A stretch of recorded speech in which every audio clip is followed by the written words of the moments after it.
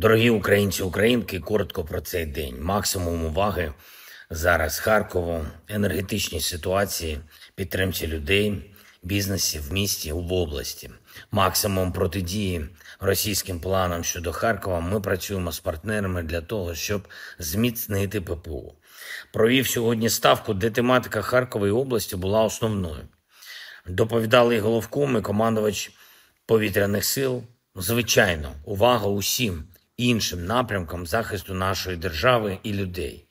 Я дякую кожному солдату і командиру, які роблять все можливе для того, щоб наші позиції зараз були сильними, щоб навіть за умов дефіциту снарядів наші підрозділи могли знищувати окупанта. І з цієї точки зору виробництва дронів, постачання дронів, справедлива та вчасна логістика це ключові речі. Наша армія має бути настільки технологічною, наскільки це можливо.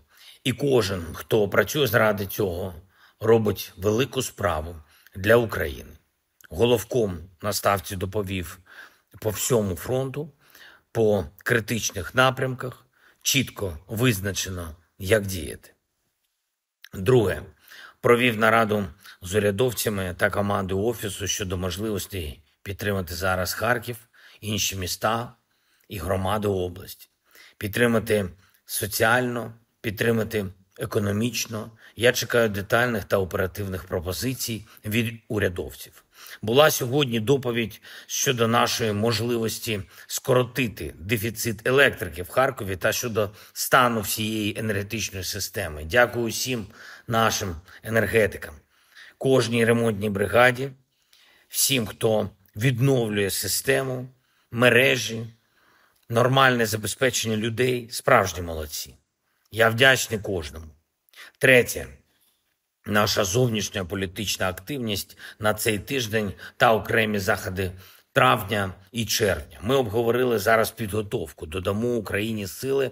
Триває робота і щодо нових оборонних пакетів, і щодо нових кроків тиску на Росію. Зараз у нашому місті Білопілля Сумської області триває рятувальна операція після російського удару керованою авіабомбою просто по центру міста.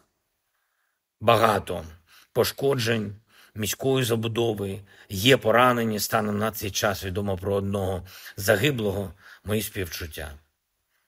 Нам потрібно більше можливостей бити державу терориста у відповідь воєнних, санкційних, економічних, юридичних та інших можливостей. Окупант нічого іншого не розуміє, тільки силу тільки власні російські втрати. І ми повинні це забезпечити усі в світі, хто дійсно цінує мир та прагне миру. Я дякую усім, хто нам допомагає. Дякую усім, хто в бою на бойових постах, бойових завданнях. Дякую усім, хто зараз на тренуванні, щоб стати частиною сил оборони. Дякую усім, хто працює заради української сили. Слава Україні!